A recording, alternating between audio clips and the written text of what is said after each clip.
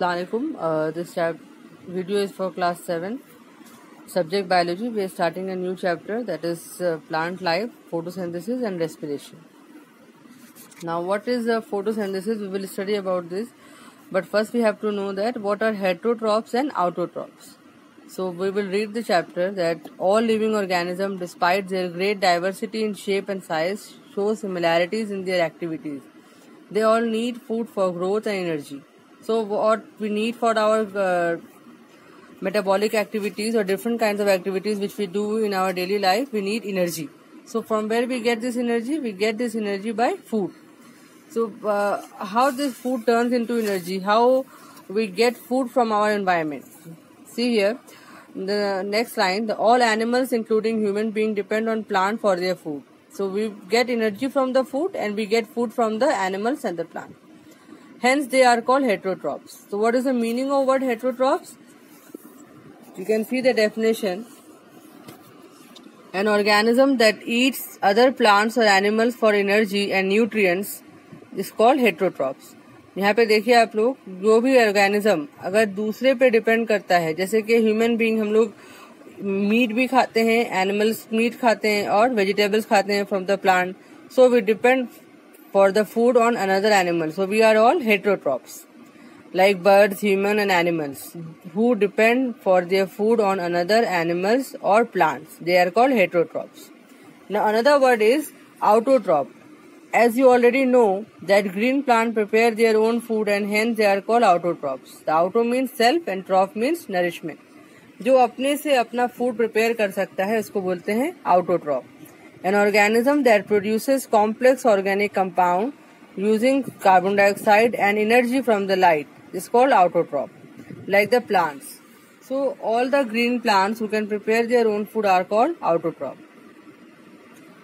So by the means of photosynthesis, photosynthesis is the name of process. एक process है जिसकी वजह से plant अपना food खुद से prepare कर सकता है. They are the only living organism that make their own food by the process of photosynthesis. उसके अलावा हम लोग रेस्पिरेशन के बारे में पढ़ेंगे। रेस्पिरेशन में हम लोग पढ़ते हैं कि ये जो फ़ूड हम लोग इन्वायरमेंट से इनहेल करते हैं, खाते हैं, वो किस तरह से एनर्जी में कन्वर्ट होता है। Respiration is a important process that takes place in all living organism including plant now see here is a detail of photosynthesis process photosynthesis क्या होता है? In this process of photosynthesis the green plant absorb water from the soil with the help of their root This absorbed water is transported through the root to the stem and then to the leaves, where the process of photosynthesis takes place. क्या बता रहा है कि green plant अपने root से, ये जो root है जिसमें रूट के आसपास सॉइल होता है सॉइल में पानी होता है, मिट्टी होता है ज़मीन के अंदर, जहाँ पे रूट यानी कि जो पेड़ का प्लांट का जो रूट होता है रूट वाला पोर्शन वो ज़मीन के अंदर रहता है, उसके आसपास सॉइल होता है वाटर होता है तो ये वाटर रूट सेल एब्जॉर्ब करता है फिर वो ट्रांसपोर्ट करता है मतलब पहुंचाता है, जो ब्राउन कलर का हमको दिखाई देता है that is stem of the plant from stem of the plant the water conduct from the root towards the leaves ये भी लीव्स है, ये भी लीव्स है लीव्स में जाता है पानी और वहाँ पे फोटोसिंथेसिस में हेल्प करता है।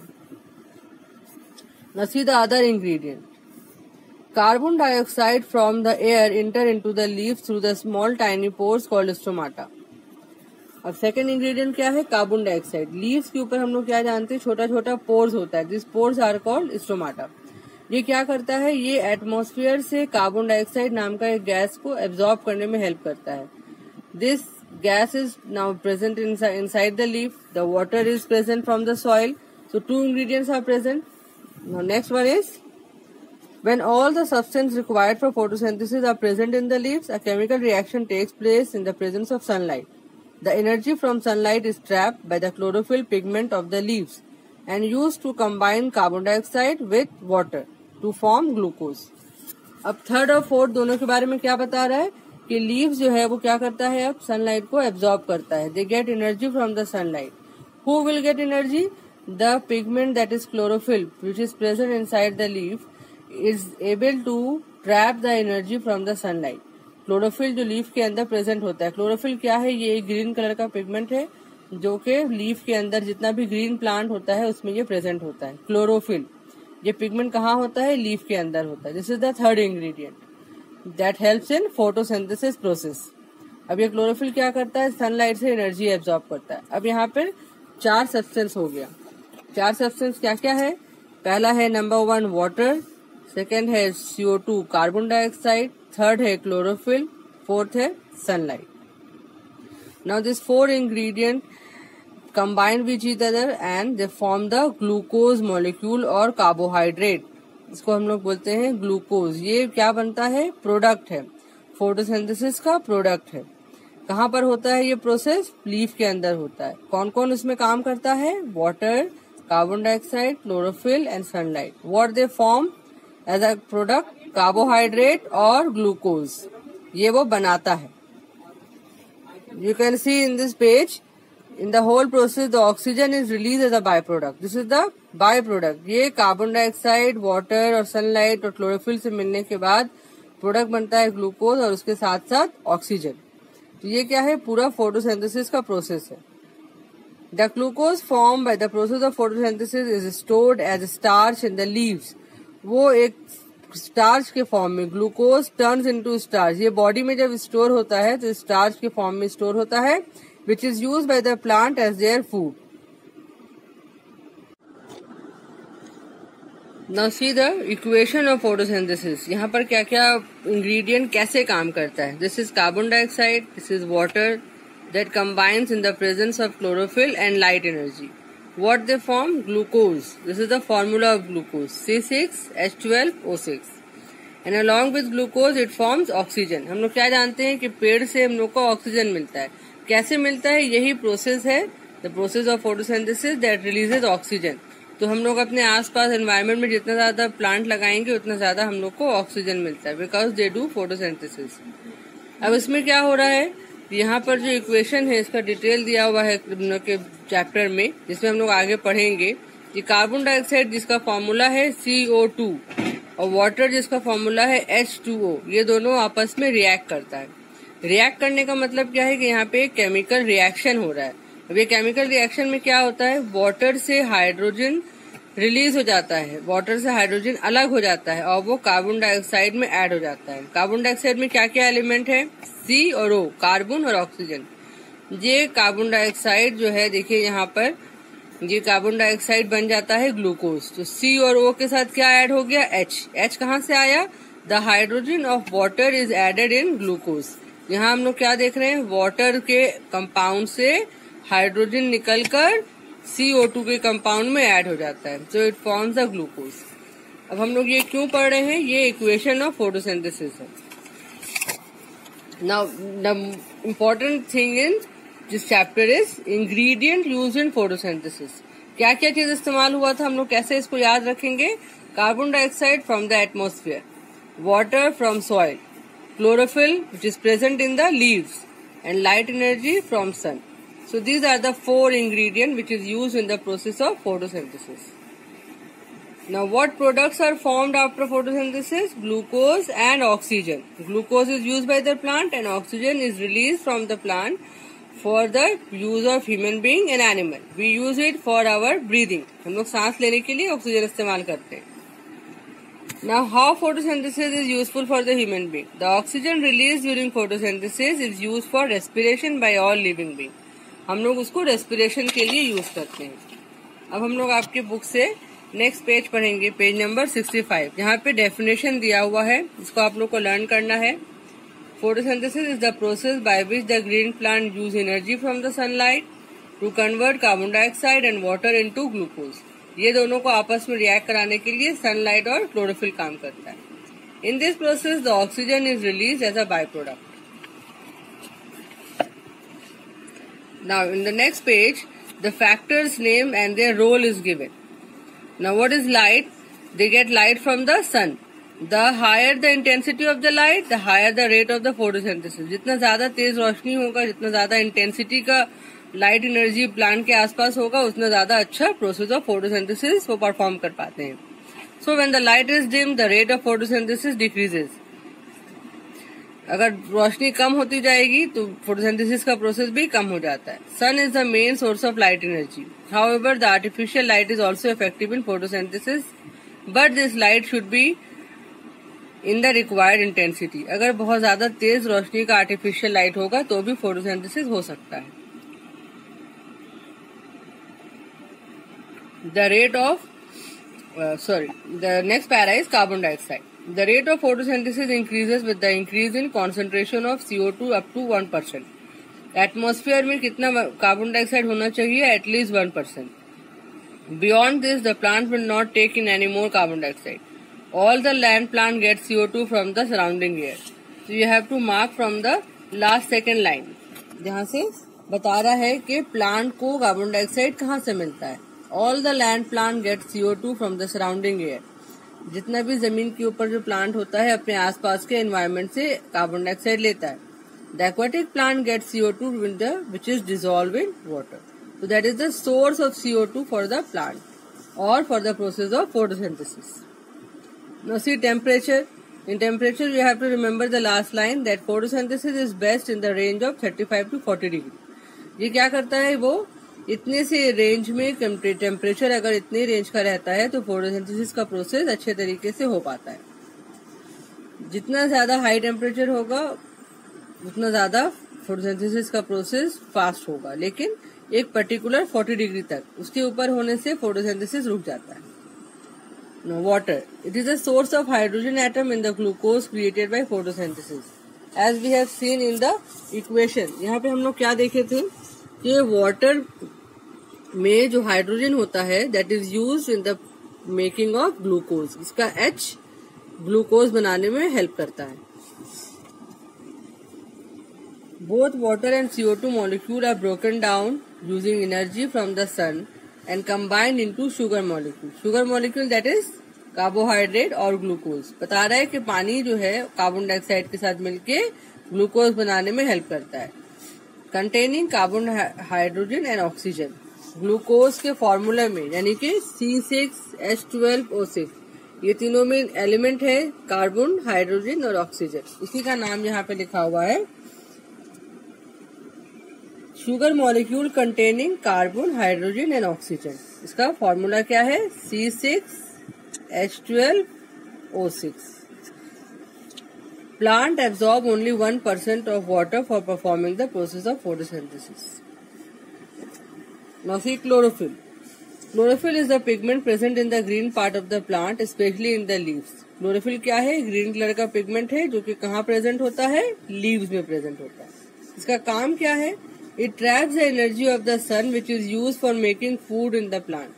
ये फोटोसिंथेसिस करने के लिए कोई भी प्रोसेस करने के लिए हम लोग को एनर्जी चाहिए होता है तो प्लांट को फोटोसिंथेसिस करने के लिए जो एनर्जी चाहते हैं वो कहाँ से मिलता है इसको सन से मिलता है कैसे मिलता है the chlorophyll traps that energy from the sun.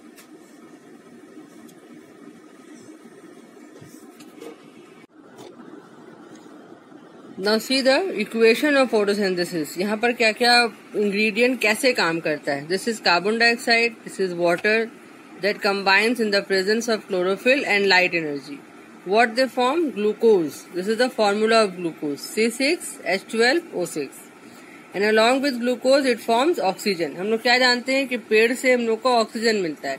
कैसे मिलता है? यही प्रोसेस है the process of photosynthesis that releases oxygen तो हम लोग अपने आसपास एनवायरमेंट में जितना ज़्यादा प्लांट लगाएँगे, उतना ज़्यादा हम लोग को ऑक्सीजन मिलता है बिकॉज़ दे डू फोटोसिंथेसिस अब इसमें क्या हो रहा है?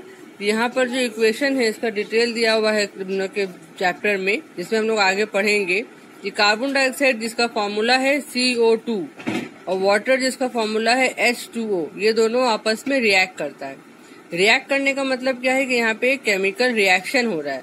अब ये केमिकल रिएक्शन में क्या होता है? वाटर से हाइड्रोजन रिलीज़ हो जाता है। वाटर से हाइड्रोजन अलग हो जाता है और वो कार्बन डाइऑक्साइड में ऐड हो जाता है। कार्बन डाइऑक्साइड में क्या क्या एलिमेंट है? सी और ओ कार्बन और ऑक्सीजन ये कार्बन डाइऑक्साइड जो है, देखिए यहाँ पर ये कार्बन डाइऑक्साइड बन जाता है ग्लूकोज तो सी और ओ के साथ क्या ऐड हो गया? एच एच कहाँ से आया? The hydrogen of water is added in glucose यहाँ हम लोग क्या देख रहे हैं? वाटर के कंपाउंड से हाइड्रोजन निकलकर CO2 के कंपाउंड में ऐड हो जाता है. So it forms the glucose अब हम लोग ये क्यों पढ़ रहे हैं? ये इक्वेशन ऑफ़ फोटोसिंथेसिस है. Now the important thing in जिस chapter is ingredient use in photosynthesis क्या क्या चीज़ इस्तेमाल हुआ था हम लोग? कैसे इसको याद रखेंगे?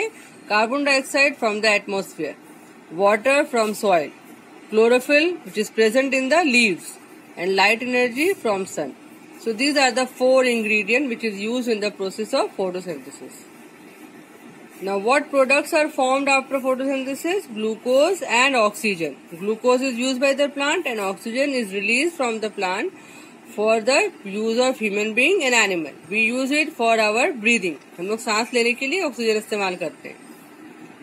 ना how photosynthesis is useful for the human being the oxygen release during photosynthesis is use for respiration by all living being हम लोग उसको रेस्पिरेशन के लिए यूज़ करते हैं। अब हम लोग आपके बुक से नेक्स्ट पेज पढ़ेंगे पेज नंबर सिक्सटी फाइव यहाँ पे डेफिनेशन दिया हुआ है, जिसको आप लोग को लर्न करना है। Photosynthesis is the process by which the green plant use energy from the sunlight to convert carbon dioxide and water into glucose ये दोनों को आपस में रिएक्ट कराने के लिए सनलाइट और क्लोरोफिल काम करता है। In this process the oxygen is release as a by product now in the next page the factors name and their role is given now what is light they get light from the sun the higher the intensity of the light the higher the rate of the photosynthesis जितना ज़्यादा तेज रोशनी होगा, जितना ज़्यादा intensity का light energy plant के आसपास होगा, उतना ज़्यादा अच्छा प्रोसेस ऑफ़ फोटोसिंथेसिस वो परफॉर्म कर पाते हैं। So when the light is dim the rate of photosynthesis decreases अगर रोशनी कम होती जाएगी तो फोटोसिंथेसिस का प्रोसेस भी कम हो जाता है। Sun is the main source of light energy however the artificial light is also effective in photosynthesis but this light should be in the required intensity अगर बहुत ज़्यादा तेज रोशनी का आर्टिफिशियल लाइट होगा तो भी फोटोसिंथेसिस हो सकता है।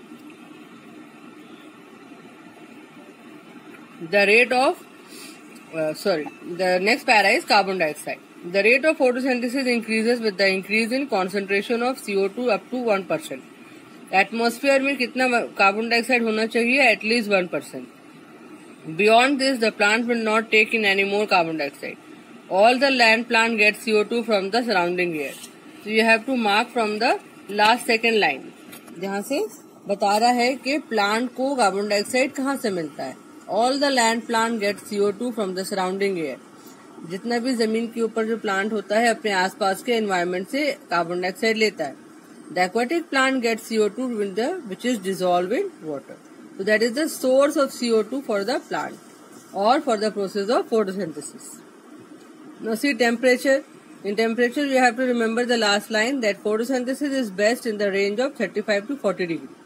ये क्या करता है वो इतने से रेंज में टेम्परेचर अगर इतने रेंज का रहता है तो फोटोसिंथेसिस का प्रोसेस अच्छे तरीके से हो पाता है जितना ज़्यादा हाई टेम्परेचर होगा, उतना ज़्यादा फोटोसिंथेसिस का प्रोसेस फास्ट होगा लेकिन एक पर्टिकुलर 40 डिग्री तक, उसके ऊपर होने से फोटोसिंथेसिस रुक जाता है no water it is a source of hydrogen atom in the glucose created by photosynthesis as we have seen in the equation यहाँ पे हम लोग क्या देखे थे? कि वाटर में जो हाइड्रोजन होता है that is use in the making of glucose इसका एच ग्लूकोज बनाने में हेल्प करता है। Both water and CO two molecule are broken down using energy from the sun and combined into sugar molecule sugar molecule that is carbohydrate और glucose बता रहा है कि पानी जो है कार्बन डाइऑक्साइड के साथ मिलके ग्लूकोज बनाने में हेल्प करता है। Containing carbon hydrogen and oxygen glucose के फॉर्मूला में, यानी कि C six H twelve O six ये तीनों में एलिमेंट है कार्बन हाइड्रोजन और ऑक्सीजन इसी का नाम यहाँ पे लिखा हुआ है sugar molecule containing carbon hydrogen and oxygen इसका फॉर्मूला क्या है? C six H twelve O six plant absorb only one percent of water for performing the process of photosynthesis now see chlorophyll chlorophyll is the pigment present in the green part of the plant specially in the leave chlorophyll क्या है? Green colour का pigment है, जो कि कहाँ present होता है? Leaves में प्रेजेंट होता है. इसका काम क्या है? It trap the energy of the sun which is use for making food in the plant ये फोटोसिंथेसिस करने के लिए, कोई भी प्रोसेस करने के लिए हम लोग को एनर्जी चाहिए होता है तो प्लांट को फोटोसिंथेसिस करने के लिए जो एनर्जी चाहते हैं, वो कहाँ से मिलता है इसको? सन से मिलता है। कैसे मिलता है? The chlorophyll traps that energy from the sun